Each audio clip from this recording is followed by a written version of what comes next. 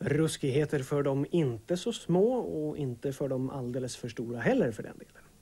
Start vid den här tiden om precis en vecka.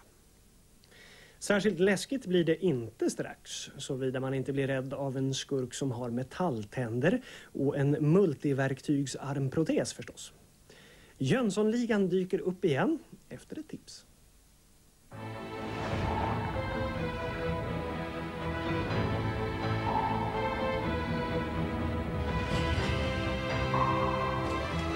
Reglerna är inte elaka.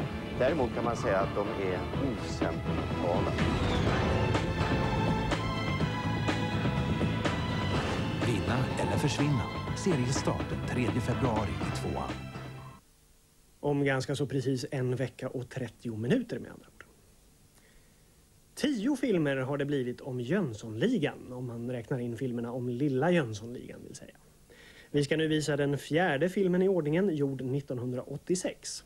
Ligaledare var då fortfarande Charles-Ingvar Jönsson och naturligtvis finns också Vanheden, Dynamit-Harry, Doris och ärkefienden Wall Enberg med i ekvationen.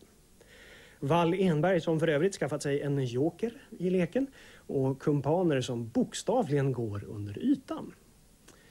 Men nu går jag händelserna i förväg. Vi tar det väl från början med att Sickan förevisar sin lika geniala som lysande plan.